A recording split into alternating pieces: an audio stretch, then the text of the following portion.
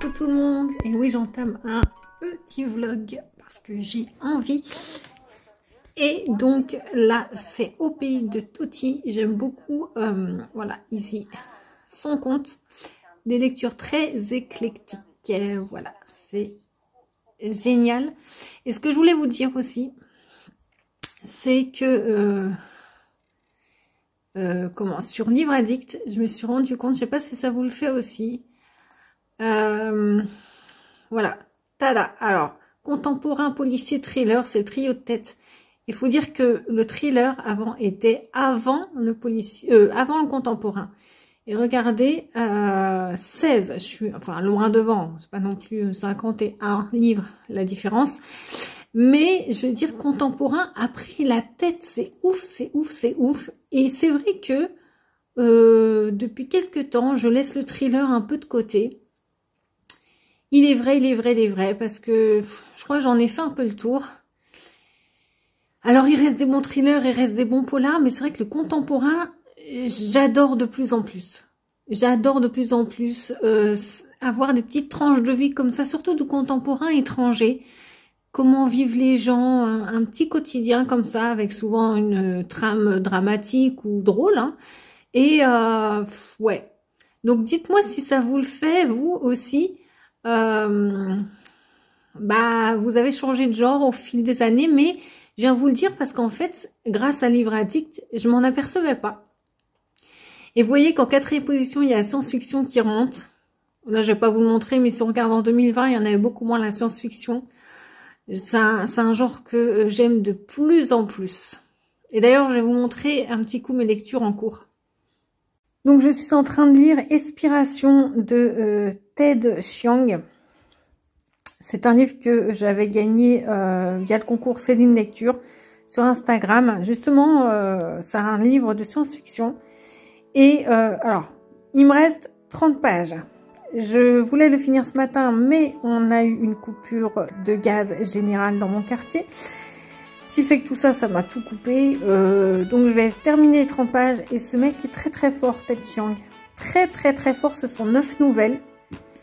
Alors, vous voyez, il est postité, hein, à Donf. Et euh, les thèmes sont... Euh, c'est génialissime. C'est ce que j'aime avec la science-fiction. C'est pour ça que j'aime beaucoup, beaucoup et de plus en plus. Parce que je me rends compte de plus en plus de choses. Les mecs sont intelligents, quoi. Ils sont vraiment intelligents. Ils abordent des trucs. Là, la dernière nouvelle est ma préférée, je crois. C'est euh, le, système de la contingence, du parallèle, de l'autre, du moi, je veux dire. Est-ce que moi, dans une autre vie, on s'est souvent posé la question, est-ce que moi, dans une autre vie, j'aurais fait la même chose Ou moi, dans, une vie où il serait passé euh, un événement, et si j'avais pas fait cet événement, est-ce est-ce que j'aurais eu la même vie? Il en a fait une nouvelle, euh, il a inventé le mot, le terme parallètre. Voilà, euh, une symbiose entre le mot parallèle et le l'être, quoi. Un moi en parallèle, enfin bon, c'est génial. Ce mec est génial. Attention, c'est une... Alors, il est de 2021, hein, bien sûr, il vient de sortir cette année. Et c'est une lecture assez assidue. Hein. Euh, faut bien se concentrer. J'ai fait l'erreur de, choisir en, lecture du soir, juste avant de me coucher, et faut pas. Faut pas, euh, faut bien... Enfin, moi, le soir, je m'endors. J'ai un peu le cerveau... Euh, faut que des, des choses légères. Mais c'est un excellent bouquin. Franchement, je vous le recommande. Donc voilà, donc euh, aujourd'hui on est bah, le 14 juillet, comme oui si je vous l'ai dit. Et donc je vais commencer cette lecture, La langue et le couteau de Kwon Jong-kyung. Il paraît qu'il est génial. Et puis celui-là, parce que je lis beaucoup de lectures en même temps, j'aime pas lire, je me lasse très vite, donc euh, il faut beaucoup. J'ai des genres différents. Donc ça c'est un roman écologiste, Maya Lunde, une, une, histoire des abeilles. Je vous en dirai plus euh, au final. Euh, ouais au final ou pendant ce vlog, je sais pas ce vlog. J'y vais comme ça, c'est-à-dire je sais pas quand il sortira. Il n'y a rien d'établi. Et puis je vous reprends certainement plus tard. Quelques jours plus tard ou je sais pas quand.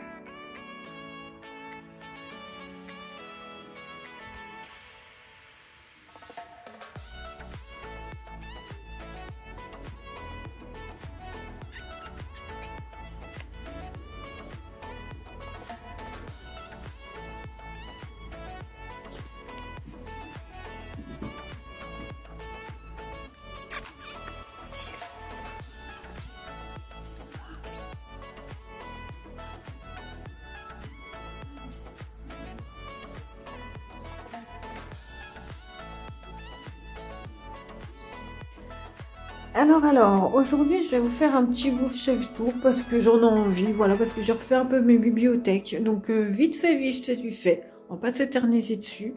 Euh, là c'est ma... Alors, je vais plutôt prendre comme ça.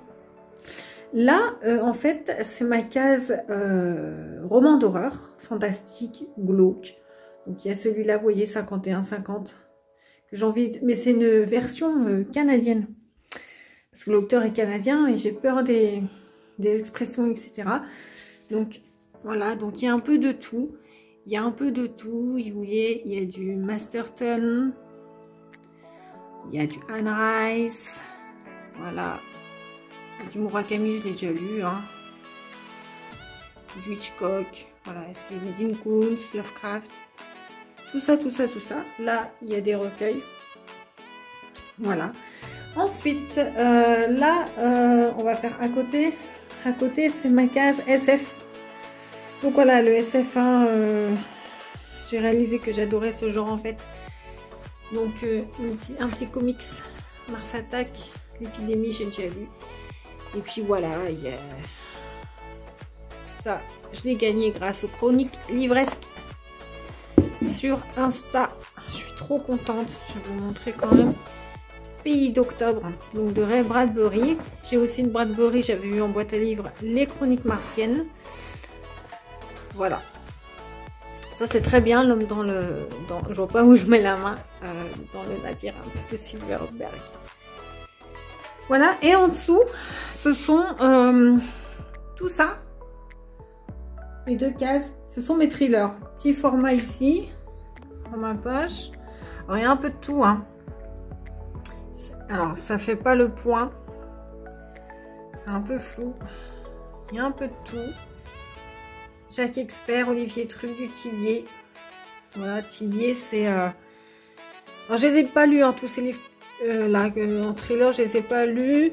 Parce qu'en général, euh, ils sont dans une autre bibliothèque, une bibliothèque que j'ai lue. Je vous la ferai demain, l'autre bibliothèque, si j'y pense. Les livres que j'ai lus. L'anneau de Mébius de Tillier et la mémoire fantôme. Celui-là, j'ai très envie de le lire. Zoulou. Euh, voilà. Ici, c'est les grands formats. Donc, euh, voilà. Encore du Dean Koontz. Le Granger, la ligne noire. Un Thomas Harris. J'avais adoré le Dragon Rouge. Voilà. Du Bowen aussi. Euh, Monster. Voilà. Du Connelly ici un petit peu. Ici, là, c'est un fourre-tout. C'est-à-dire que là, ça se remplira. Pour l'instant, j'ai mis les albums d'Astérix. Ce sont mes deux préférés, 12 travaux et Cléopâtre. Et ici, euh, c'est par auteur, genre, mais j'en ai un petit peu, genre, c'est... Donc voilà, il y a un peu de tout. Il y a du... Euh, comment, du euh, Paul Auster. Ici, je, sais pas ce qu'il fait à l'envers. C'est encore un petit Paul Auster la trilogie new-yorkaise, c'est que le tome 2. Il paraît qu'on n'est pas obligé de les lire en langue, mais j'aime pas trop. Ici, il y a du Massaroto, Cyril Massaroto. Ça, ça va ensemble. Donc, et puis là, c'est tout la Mélinoto. J'en ai lu 3 sur... J'ai lu ces deux-là. Et Attentat. Attentat, j'ai adoré. J'ai adoré. Donc, euh, voilà. Là, c'est l'herbe de mon chat. Hein et ici, c'est tout, euh, voilà, tout en bas, là, c'est ma case classique. Donc, euh, Peau de chagrin de Tristan Iseut, euh, À l'Est d'Éden, du Steinbeck, donc. Maupassant. Voilà. Camus. Voilà. Et aussi, je vous montrerai un autre jour, euh, j'ai, euh, comment dire, tous les Zola dans une autre bibliothèque, les Rougon-Macquart. Donc euh, voilà, ça c'était mes deux bibliothèques qui sont ensemble que je viens de vous montrer. Et puis là, c'est mon chat. Et puis ici, je sais pas comment mettre parce que là ça va faire faux jour. Ouais. je sais pas. Et puis ici, vous avez encore deux autres petites bibliothèques comme ça, vous avez vu. Voilà. Donc, première case ici, c'est l'historique. Donc, il y a tout. Enfin, tout. Pas tout, hein, parce que ça ne ferait pas que ça. J'ai beaucoup de Christian Jacques. J'en veux pour beaucoup. J'ai quelques Christian Jacques. Et de l'historique ici. Euh, voilà, l'égyptologue d'Arthur Philippe. Voilà, ça j'ai très envie de le lire. C'est de l'ésotérisme, c'est un thriller ésotérique. Ensuite, en dessous, j'ai bah, le contemporain. Le contemporain, alors là, il y a un peu de tout. Lui, j'ai très envie de le lire. Il est où? Walilam, le chagrin et la grâce. J'ai du Grimaldi, j'ai du... Euh. J'aime beaucoup. J'ai du Dian, j'aime beaucoup Philippe Dian. Voilà, j'ai du Yasmina Kadra. Euh, j'ai du Serge Court. Là, c'est à l'envers. Mais euh, voilà. J'ai ça. Voilà pour la première bibliothèque parce qu'en dessous c'est vide. Mon chat peut y passer. Hein. Elle saute par-dessus, mais en même temps c'est parce que pour l'instant j'ai rien à mettre. Et puis là, ce sont mes sagas en cours dans nos bibliothèques à côté. Alors euh, voilà, beaucoup de thrillers. Tout ça, c'est du thriller. Tout ça, c'est j'ai déjà lu en fait. Et euh, les tomes, j'ai une bibliothèque spéciale pâle en cours en fait. Qui sont pas là, mais voilà, Code 93, je l'ai lu. Mes territoires est dans la bibliothèque pâle. Enfin, vous voyez, ça, je l'ai lu. Sauf la maison de poupée. Je les ai regroupés. Parce que maison de poupée, je compte pas le lire maintenant. Euh, voilà, j'ai la guerre des clans que j'adore, mais que j'ai pas tous les tomes. Euh, ça, c'est Dragon Rouge, Thomas Harris. Et puis, j'ai le les enfants de, la Terre. Ça veut dire le Tinuel. Voilà. Et euh, en dessous, ce sont des romances young adult ou des romances classiques. Il y a du Nora Roberts, il y a un peu de tout. Voilà, là c'est la... J'avais eu ça. Une vous savez, c'est... Euh... Comment? International Guy. Euh... Alors le premier tome il est dans ma palle. Là, New York. Ensuite, vous voyez, Copenhague. À chaque fois, il y a une ville différente. J'ai tout pris. Et en dessous, je les ai mal mis parce qu'on ne voit pas en fait la tranche est de l'autre côté, à part celui-ci. Mais c'est de la non-fiction. Des trucs là et de science-fiction. Et là-bas, il y a un livre qui n'a rien à faire là puisqu'il est tombé. Et il est à côté de Reagan qui tire la langue. Ce livre, j'avais eu il y a longtemps quand j'étais ado. J'avais été à Paris, dans une grande librairie de Paris. Et euh, je ne lisais pas à l'époque, hein. mais euh, j'avais pris un truc sur... C'était les coulisses de l'exorciste en fait. La Magritte, j'aime beaucoup. Je vous présenterai mieux ça un jour. Euh, voilà. Bibiche. Alors là, c'est tous mes carnets de lecture. Et puis, coucou. Coucou, la caméra. Et puis pour finir, j'ai cette petite bibliothèque. C'est ma mère qui me l'a passé. Je fais bah oui, donne-la moi. Elle est sympa. Et ici, c'est par hauteur. Alors là, j'ai les Brussolo, les Grisham. Alors, je laisse un peu dessus. Voilà. Ici en dessous, c'est les Marie Higgins Lark. Voilà. Marie Higgins Lark ici.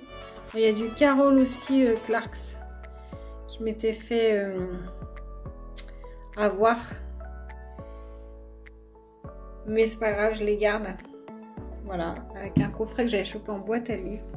Je laisse pas ça là-bas. Ici, c'est ma petite case se, qui se remplit, tout doux. J'ai lu le Chevalier d'Émeraude que j'adore, Harley King. Ça, je l'ai lu. Ben, en fait, j'ai pas lu les trois là. Et puis là, oui, lui qui se faisait la malle vers Reagan, c'est je ne l'avais pas laissé là parce que sinon il y en a trop. C'est ma euh, case asiate, littérature asiatique. Voilà. J'ai pas encore lu celui-ci. Je l'ai acheté. Junji Ito. Je l'ai acheté là euh, le mois dernier. Voilà. Voilà euh, mes bibliothèques. Voilà, voilà, voilà. Tu te montres? Tu te montres? Voilà, allez, euh, moi je suis crevée parce qu'aujourd'hui j'ai fait bah, pas grand chose, mais en fait j'ai revu une, copine que j'avais pas vue depuis longtemps. Donc on a été manger au McDouche, c'est grave le bordel. Ah, pour rentrer, pour faire tout ça, il n'y a plus de paille, son radar en serviette, c'était bon. Et ensuite, on a été au centre-ville. Moi, ça fait longtemps que je suis pas allée au centre-ville. On a fait les magasins et j'ai marché toute la journée. Voilà, j'ai pas l'habitude. Hello, je vous reprends aujourd'hui. Euh, on est euh, vendredi 16 juillet. Et je viens de faire un petit tour chez Nose parce qu'aujourd'hui, euh, j'avais rien de spécial à faire. Ma mère m'a appelé en fait euh, pour aller la déposer quelque part. Je sais pas, comme je suis dehors ensuite, je me suis dit je vais faire un petit tour chez Nose parce que j'ai vu sur le compte de Joli Shopping. Euh, je vous mettrai le lien. Elle montre plein les, les nouveautés chez nos actions, les sorties, etc. Plein de magasins, donc c'est très bien. Et hier soir, j'ai vu sur son compte, donc, enfin sa, chaîne, Canos, il y avait le DVD Once Upon a Time in Hollywood de Tarantino. Et euh, donc, bah, j'ai dit, il me le faut. Et puis, euh, puis là, je me suis dit, bah, c'est le moment. Donc, j'ai eu raison parce qu'il est là. Donc, je suis très contente. Donc, j'ai un, un, peu vous montrer mes achats Nose, hein, là. Donc, on commence par ça. Donc, euh, une pépite ce film. Un truc de dingue. Donc je suis très très très très très contente. J'ai vu ça aussi en DVD. C'est un coffret de la saga Millennium. Millennium. Oui, Millennium. Plus ça vient, plus je deviens dyslexique. Dyslexique. Dyslexique. C'est horrible. Mon cerveau, il pète des plombs. Donc, cette saga... Euh, elle est où bah, est là en, roman, hein. donc j'ai déjà lu le premier, donc ils en ont fait une adaptation, j'aimerais trop les voir. J'ai déjà lu le premier tome. Et donc je vais lire la série en entier et après regarder ça. Là, il n'y a que deux films, hein. mais j'ai hâte déjà pour le premier tome. Euh, d'ailleurs, c'est les hommes qui n'aimaient pas les femmes. Euh, l'adaptation, parce que j'avais beaucoup aimé euh, ce, livre, donc voilà. Et puis un troisième DVD. Après, on va passer au livre un peu plus. C'était bonne pioche aujourd'hui, euh, vraiment. Au DVD, euh, Insidious 2. Donc euh, j'ai eu ça, j'avais déjà celui-ci. Donc je ne sais pas du tout l'ordre, l'ordre des DVD, mais voilà, je suis contente. Hein. J'aime bien cette franchise de toute manière, donc autant les avoir tous. Vous parlez des DVD Millennium, vous allez peut-être savoir, la saga c'est celle-ci. Ça, je vous parlais, c'est le, premier. Voilà. Donc, euh, je remettrai après. Donc, voilà, je suis contente pour ça. en livre, vous allez voir. Bon, déjà, j'ai pris un petit Arlan Coben euh, pour ma mère. Je sais qu'elle aime bien celui-ci. Je ne sais pas si elle l'a, mais bon. Pour le prix euh, 1,99. Euh, voilà. On verra bien, comme je la retrouve aussi après. On verra. J'ai celui-là, enfin enfin, enfin. Euh, enfin, enfin. Je vous dis enfin parce que c'est celui-là qui me manquait de la série. Je vous ai montré de la série International Guy. Je les avais tous et je les ai au moins depuis... Euh, depuis euh, pas loin de 6 mois. Je vais dire 2-3 mois. Mais pas... Et il me manquait le dernier, le numéro 12. Et enfin, bonne pioche à il y était. Bah voilà, Los Angeles, donc là. Je suis trop contente. Alors là, je prends les livres comme ils viennent. Hein. Voilà, les métiers de la création. Ce qui est bien chez nous, c'est que tu, découvres souvent des, choses parce que pour le prix, tu dis ouf. Allez, je le prends, on verra bien. Voilà, dans les achats neufs, tu ne dis pas, on verra bien. C'est sûr que tu le prends ou pas? Donc voilà, j'adore les, métiers de la création. Donc là, on va parler d'architecte, paysagiste, designer, photographie, styliste, etc. Voilà, c'est des petits fiches métiers. parle de, des différents donc euh, métiers de création qu'il y a dedans. Ça peut toujours être sympa. Moi, ça m'intéresse. Ça, ensuite, je ne connais pas non plus. C'est euh, la cinquième nage de euh, The Fifth Stroke, donc de Luc Collard. Déjà, j'ai lu le synopsis parce que la couverture m'a hypé. Et en fait, c'est pas un, roman, c'est... Euh, voilà, les nages actuels n'étaient que les premiers prémices d'une évolution unique. C'est la question qu'on peut se poser. Et donc, euh, bah, ça peut être très, très, très intéressant. Voir l'évolution euh, du monde. C'est vrai qu'on dit qu'on est, qu'on est né dans l'eau hein, au départ. Certains disent qu'on vient des des lézards, vous savez, la marche du lézard ressemble un peu à la marche du bébé, un peu les pieds, les, bras arqués comme ça sur le sol. En tout cas, ça m'intrigue. Alors là, c'est un petit roman, ça. Euh, c'est un thriller fantastique. Déjà, j'aime beaucoup la couverture. Hein. Il n'a pas un œil humain. Euh, la dernière âme, Damnation. Alors, je ne sais pas. Alors, ça me fait peur quand il y a des... J'ai pas encore regardé sur Livre Addict. Hein. Je viens de rentrer. Je vous ferai part de choses si vraiment... Oui, parce que là, quand il y a des sous-titres, on dirait des séries. Euh, si c'est le premier en date, ça me va. Sinon... Euh, et j'ai vu qu'on était en 2066. Donc tout ça, ça me va. Le, le titre, euh, l'année, un peu dans le futur. j'ai enlevé le bandeau, mais c'était marqué thriller fantastique. Donc on verra. Je regarderai juste sur Livre Addict si c'est bien un one-shot. Et donc c'est de Sandra Lehner. Ensuite un petit Douglas Kennedy. Et euh, vu la couverture, bah voilà, j'ai pas hésité une seconde. Parce que de Douglas Kennedy, j'avais lu Cul-de-sac, mais il y a au moins deux ans. Et j'avais adoré. Puis il est connu, hein, Douglas Kennedy. Voilà, on ne le cache pas. on va pas se le cacher. Euh, on ne le présente plus. Mais j'ai souvent je me disais mais il faut que je retrouve un, il faut que je retrouve un. Et en a tout le temps, hein, mais à chaque fois je le prenais pas parce que je savais pas quoi prendre. Et là je me suis dit, allez, c'est le moment venu. Il y avait celui-ci, j'ai vu la couverture. Californie. Allez, c'est bon. Je prends. Voilà, tout simplement. Donc euh, rien ne va plus, donc euh, on va voir. Celui-ci, c'est le premier que j'ai vu en rentrant. Alors, dans le nose, j'ai deux noses dans ma ville. Là, j'étais dans le nose où rien n'est rangé en fait. Donc les livres, il n'y a pas de rangée de livres. Si vous voulez les trouver, ils sont en dessous des, de tout. Enfin, c'est vraiment la, faut vraiment fouiller. Ils sont en dessous de tout et n'importe quoi et euh, même pas euh, rangés. Ils sont en vrac vraiment. Et j'ai vu celui-là qui était tout caché. Donc j'en ai entendu parler, je l'ai vu passer. C'est Kazuo Ishiguro auprès de moi toujours. Et euh, j'ai juste vu le titre et l'auteur parce qu'il me disait quelque chose. Et je l'ai pris, de toute façon, j'aime bien si c'est un, un contemporain, euh, je sais pas c'est quel... Euh,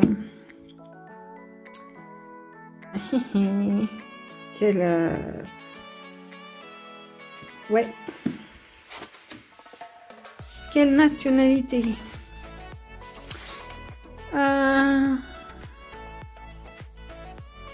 Donc euh, japonais, hein, voilà. Mais ah, ouais, donc euh, ouais, donc ça se passe à Londres en fait, donc euh, rien à voir, puisque lui aussi après a vécu à Londres l'auteur. Mais c'est pas grave. Là ensuite, pareil, je veux m'instruire sur la mythologie grecque, que ce soit en fiction ou en non-fiction, je veux. Depuis tant que je me dis, Ulysse mort, les clés du temps, Déjà, le livre est très très beau. Puis là, vous ne le sentez pas forcément, mais c'est en relief. J'ai vu l'intérieur aussi. Regardez, c'est très... Voilà. Et je pense que... Je sais même pas de quoi ça parle. Hein, mais, euh, vous voyez, j'ai même pas retiré les, les étiquettes. Euh, voilà. Je trouve très mignon, le livre. Et en fait, euh, ça n'a rien à voir avec la mythologie. Parce que c'est juste le nom de l'auteur. Ah, c'est très joli C'est juste un, roman jeunesse, en fait. Bon. Alors, c'est bien pour ce roman, mais j'ai toujours pas de truc sur la mythologie, je croyais. Bon, c'est pas grave. Là, celui-là, il me semble qu'il était dans ma wishlist. Je regarderai après. Ça fait au moins un an qu'il est sur ma wishlist. Donc le tome 1, ça me dit quelque chose Soleri. Il me semble que je l'avais noté, je l'avais vu passer. Donc c'est de Michael Johnston, L'Empire des Soleri. Donc Soleri, le tome 1. Il n'y avait pas les autres tomes. Hein. Euh, là, il y, avait, il y avait plein de séries en tome 1. Il n'y avait aucun autre tome. Que ce soit n'importe... Oui, en 2017. Donc 2018 euh, chez Brajlon. Moi, ça doit être ça. J'avais dû le noter. Hein. Donc c'est pour ça que je l'ai pris. Puis moi qui parlais de mythologie, euh, enfin, je sais pas si c'est un rapport, mais bon. Pour le délire, euh, ça fait penser à. Donc voilà, j'ai très envie de découvrir cette saga. Dites-moi si vous connaissez. Ensuite, il en reste... eh ben non, c'est terminé pour les achanoses. Et euh, j'avais été mettre en boîte à livres un misérable parce que c'était une version abrégée en fait. Ah, je suis restée en, comme ça en fait, je suis pas face, c'est pas grave. C'était une version abrégée des Misérables qui faisait 300 pages donc euh, de Hugo. Donc, euh, à vrai dire, ça sert à rien. Je préfère la version, voilà. Et donc, j'ai... et puis des boîtes à livres aussi de ma mère qui, m'a donné au passage. Et j'en ai vu trois. C'est pas génial, mais bon je sais pas. Euh, les dents de la mer de Peter Benchley. Et après, je me suis dit, c'est vraiment les dents de la mer. Euh, je sais pas. Peut-être qu'on les connaît ou. En plus, la petite boîte à livres, elle est euh, comment? Elle est dehors. Bon, on est sous un porche, mais il pleuvait un peu. Donc, à mon avis, ouais, c'est un rapport. Il pleuvait, je pouvais pas faire grand chose. Celui-ci, j'en ai beaucoup entendu parler, donc euh, Arikana, le royaume du Nord, Arikana, de Bernard Clavel. Pareil, donc on va être dans le Grand Nord canadien, j'aime beaucoup. Pour moi, c'est un petit, un, petit, euh, un petit classique, on va dire. Et celui-ci, je l'ai pris parce que je fais la, collection des Rougon Macar. Et au bonheur, il y en a beaucoup dans cette collection. C'est la collection G aussi. J'ai beaucoup de livres de Zola comme ça, des rougons comme ça. Très belle édition. J'adore. Et euh, au bonheur des dames, les autres je les avais. Il y avait le rêve et l'argent. Je les ai. On va les voir ensemble si je l'ai. Parce que je n'ai pas vérifié. Donc je l'ai pris dans le doute. Il me semble que je l'ai, mais pas sûr. Ouais, je l'ai. Alors là, il y a un dilemme. Je l'ai dans cette version que je trouve magnifique. Laquelle garder? Je dis dilemme pourquoi? Parce que le choix en fait est vite fait, je garde celui-là. Mais dilemme parce que regardez, la petite euh, collection des Zola pour l'instant, bah voilà quoi. Si je mets celui-là à côté, c'est la même. Donc ça serait débile de garder l'autre mais comme je suis, j'ai l'esprit de contradiction et j'aime beaucoup celui-là tout simplement. je pense que je vais garder celui-là. Mais bon, donc j'irai le... Déposer celui-ci en boîte à livres.